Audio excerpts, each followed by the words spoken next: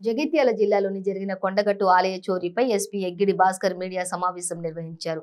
కొండగట్టు ఆలయ చోరీ కేసులో ఇప్పటి వరకు ముగ్గురిని అరెస్ట్ చేసిన పోలీసులు మరో నలుగురు కోసం గాలింపు చేపట్టినట్లు తెలిపారు.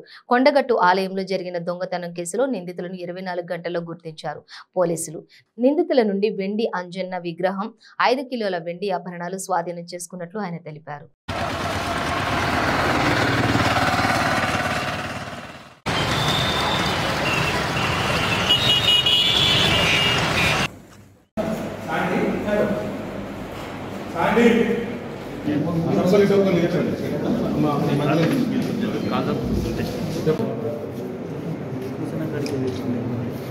టెంపుల్ వాళ్ళు ఇచ్చిన పిటిషన్ ప్రకారం మనకు పదిహేను కేజీల వెండి వస్తువులు పోయినాయని ఇచ్చినారు.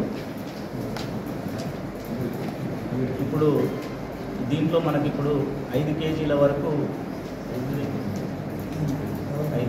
దాదాపు ఐదు కేజీల వెండి వస్తువులు దేవుడికి సంబంధించి తీసుకుంది మిగతా వాటిని ఇంకా నలుగురు అటెండర్స్ ఉన్నారు. వాళ్ళని అరెస్ట్ చేసి మిగతాది కూడా ఇంటాక్ట్గా రికవర్ చేస్తారు.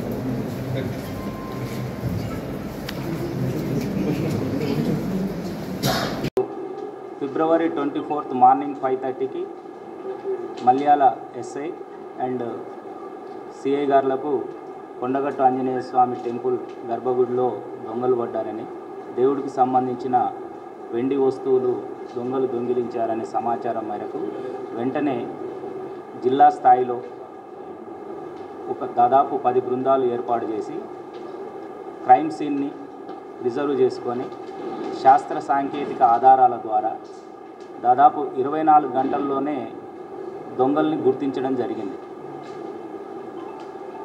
ఈ దొంగతనం చేసిన వాళ్ళు కర్ణాటక రాష్ట్రానికి చెందిన బీదర్. ఔరత్ తాలూకా బీదర్ జిల్లా ఔరత్ తాలూకా చెందిన వాళ్ళు. వీళ్ళు అంతర్రాష్ట్ర దొంగల ముఠ వీళ్ళు పర్టికులర్గా టెంపుల్లోనే దొంగతనాలు చేస్తారు. గతంలో వీళ్ళు మహారాష్ట్రలోని పండరిపురము ఫేమస్ టెంపుల్ పక్కన ఉన్న కొన్ని టెంపుల్స్లోను తెలంగాణలో మెదక్ జిల్లా Chamundeshwari Devi temple Chilapchedu police station లిమిట్స్లో ఉన్న టెంపుల్లోను అండ్ కమాన్పూర్ మహారాష్ట్రలో కర్ణాటకలో ఉన్న కమాన్పూర్ పోలీస్ స్టేషన్ లిమిట్స్లోనూ ప్రాథమికంగా వాళ్ళ ఇంట్రాగేషన్ ప్రకారము వాళ్ళు ఒప్పుకున్న దాని ప్రకారము ఈ ఏరియాల్లో టెంపుల్లో వెండి వస్తువులు దొంగతనం చేసినారని చెప్పినారు. వాళ్ళ మీద పాత నేరస్తులు కాబట్టి